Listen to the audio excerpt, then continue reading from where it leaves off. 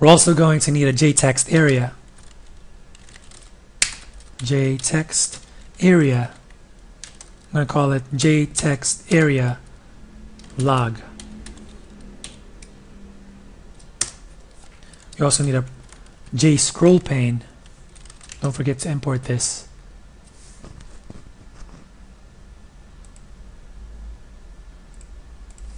JScroll pane. We're going to call it scroll pane. And the scroll pane just makes it uh, makes whatever we're going to put inside it scrollable. So import that. And now we have everything that we need, all the widgets that we need. So let's create our constructor for the add book panel class. So public add book panel, no parameters. And since this is extending the JPanel, we need to call the super. And we're going to pass in new flow layout. Now you don't need to pass in a new a new flow layout because by default the layout is already a flow layout, but we're just going to pass it in just to make it explicit. And this flow layout is coming from java.awt.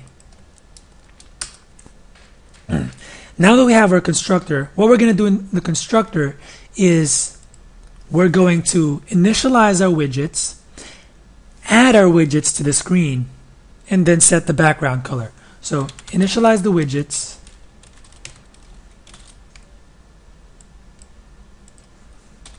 Then we're going to add the widgets.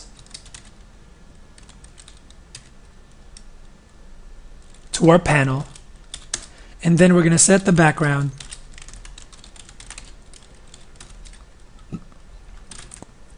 To uh, my favorite color and you're going to see when we run this. Actually you already saw. It's like a teal color.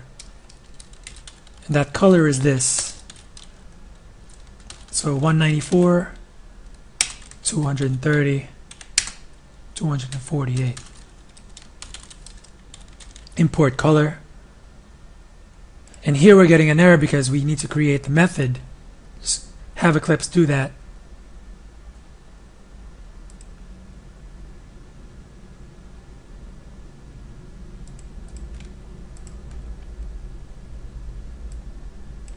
I'm just going to cut and paste this before the add widgets. I mean, you don't need to.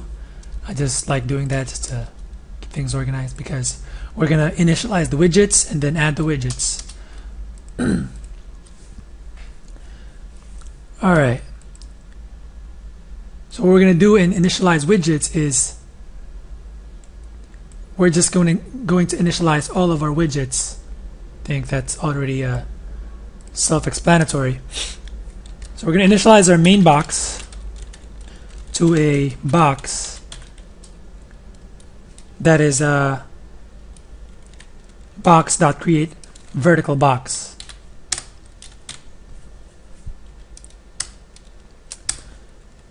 And what this create vertical box will give us is a box that whose orientation is vertical. What you mean? What I mean by, by orientation is that the order in which you add the stuff that we're going to add inside it, it's going to start from it's to start adding from the top to the bottom. That's what it means by that's what it mean that's what it mean by uh sorry. That's what it means by uh, vertical. I'm going to add stuff from the top to the bottom.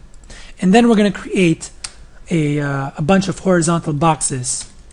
Going to initialize all our horizontal boxes. So just hbox1 uh, box dot create horizontal box.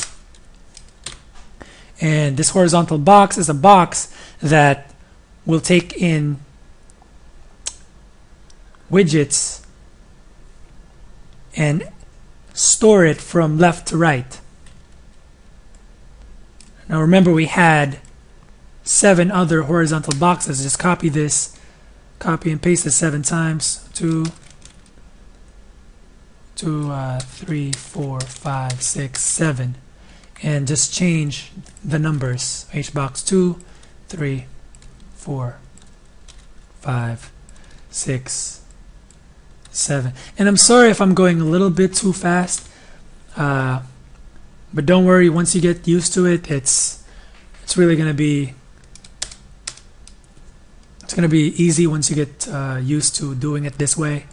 As I said, there's many different methods about uh, going going about this. You can use grid layouts, you can use uh, border layout, but if you guys want to know what other layouts, what other methods there are in creating a GUI, then you guys can just Google um, Java layouts, and you guys you guys will learn what other methods there are besides flow layout and using boxes whenever you're creating a GUI.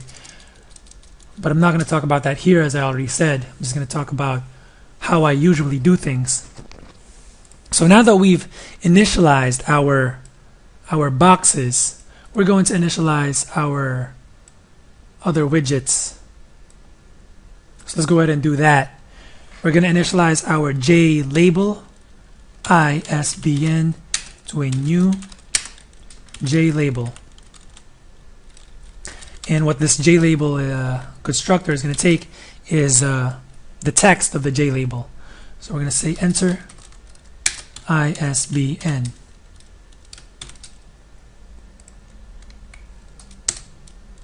And then we're just going to copy this a uh, couple of times. This is for the title, for the author, for the price, and for the log.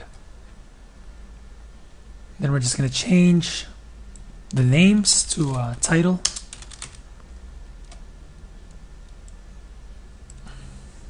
Author.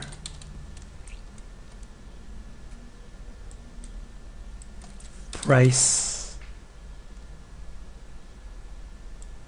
File. And initialize our log too.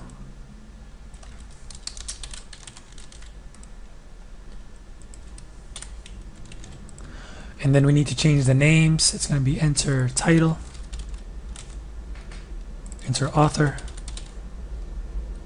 price file what's this oh call that JL logdog and this is just logdog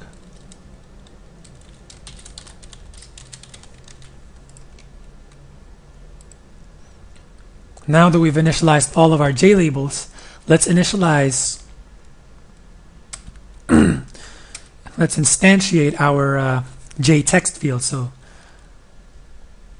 JT for J text field, ISBN equals new JText field. And we're going to put in the size, the um, the column size, the, the span, the horizontal span of this JText field. We're going to set it to 19. And we're just going to copy and paste this a couple of times. One for the title, one for the author, one for the price, and one for the file. So JT title, JT author, JT price JT logdog, I mean JT file.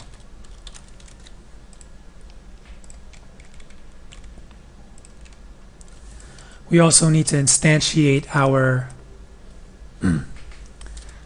JTA log, which is corresponding to our logdog over there. JTA log equals a new JText area and it's going to take in uh, the amount of rows. We're going to give it 10 rows, and we're going to give it 24 columns.